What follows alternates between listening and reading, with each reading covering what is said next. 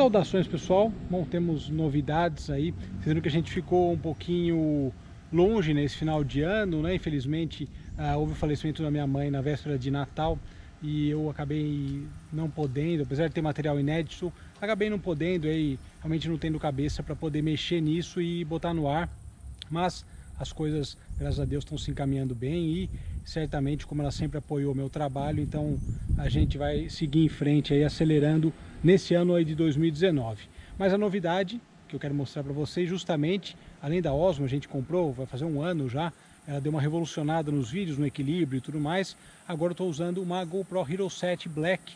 Ah, então esse primeiro vídeo é um vídeo aí é, realmente para mostrar algumas funcionalidades da câmera e mostrar essa nova ferramenta de trabalho. Vamos começar então com um velho conhecido de vocês, mas ele está aqui só de modelo. Fusquinha está aqui só de modelo para poder ilustrar aí a, o nosso vídeo, né? Eu não estou usando microfone nenhum agora. Ela tem o Hyper Smooth, que é essa, esse equilíbrio, né? Justamente é um dos primeiros testes esse que eu estou fazendo. Eu gostei, estou gostando bastante dela, ela é compacta, né? É, a grande sacada da garagem sempre foi essa ideia de fazer é, o trabalho com algo compacto. E eu gostei muito. Eu uso GoPro há muito tempo, já tive GoPro 1, 2, a 3, eu usei 5 anos e meio. E agora essa aqui, a 7, né, Black, uh, me pareceu bem legal. Eu li bastante sobre ela, assisti uns reviews, né? Uh, vídeos, li alguma coisa também e ela me pareceu interessante. Então a gente está fazendo duas coisas. Primeiro, essa apresentaçãozinha externa, aí dando uma passada geral, aí vocês estão vendo, ah, esse é o nosso encontro lá, encontro do Jairo de domingo, que é bem legal, quem acompanha nosso Instagram já viu, mas eu estou achando legal esse colorido, a luminosidade, realmente ela tem uma, uma qualidade muito bacana. Agora a gente vai internamente para falar um pouquinho e ver o som interno da câmera, repito, sem microfone.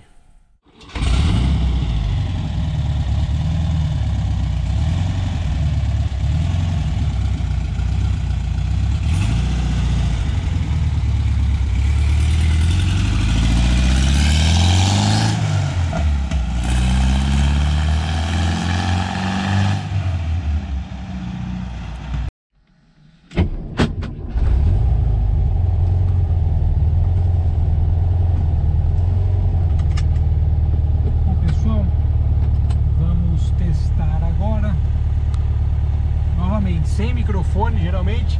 O pessoal às vezes reclama do áudio, mas geralmente eu uso uh, o gravador digital.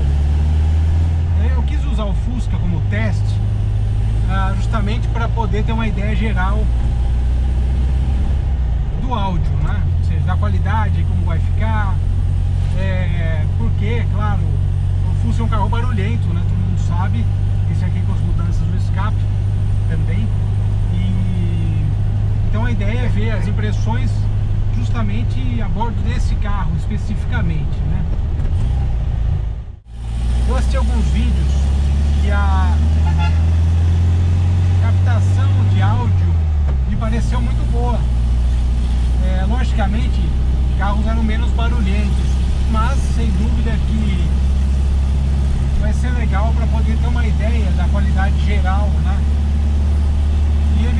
Vídeos que eu posso usar o gravador ou tenha que usar o gravador e outros que eu posso gravar assim direto porque é muito prático, né? A garagem sempre foi um trabalho de muita praticidade, né? Ah, e eu consegui realmente com, com a Osmo e tal também ah, desenvolver muito essa ideia. Bom, terminando esse teste, vocês me falem aí o que vocês acharam e vamos seguir em frente aí, acelerando 2019 rumo aos 300 mil, 400 mil. Vamos em frente, vamos firme que tem muita coisa legal acontecendo, graças a Deus. Obrigado a todos pela audiência, grande abraço e um ótimo ano para todos nós com bastante saúde e muita prosperidade. Tchau, tchau.